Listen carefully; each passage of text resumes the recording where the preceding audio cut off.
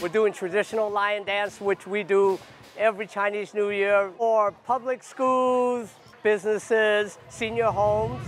Traditional lion dance is part of martial arts. We go around and we bring good luck to whoever we perform for. They think, oh, Chinese dragon dance, they come out, but they don't really know the true meaning of the whole thing. And my part is I want to share this part of culture.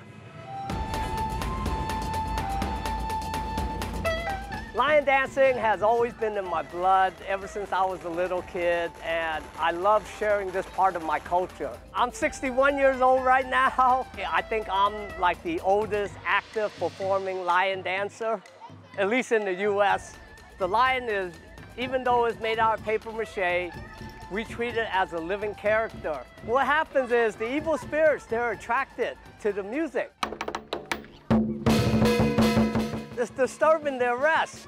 And so they come out to investigate, and then they meet the lion, and the lion has a mirror on his forehead, and once the evil spirits see themselves, it scares themselves away. The Chinese lion is a vegetarian. He doesn't eat meat like the lions we know of in the zoo. He, he likes to eat lettuce. He likes to spread his luck and he tosses out the lettuce. And anybody that gets hit by the lettuce brings them good luck for the rest of the Chinese New Year. Since the lion can't speak, he wants to voice his good luck. So he drops good luck banners. On the banners, they'll say Happy Chinese New Year.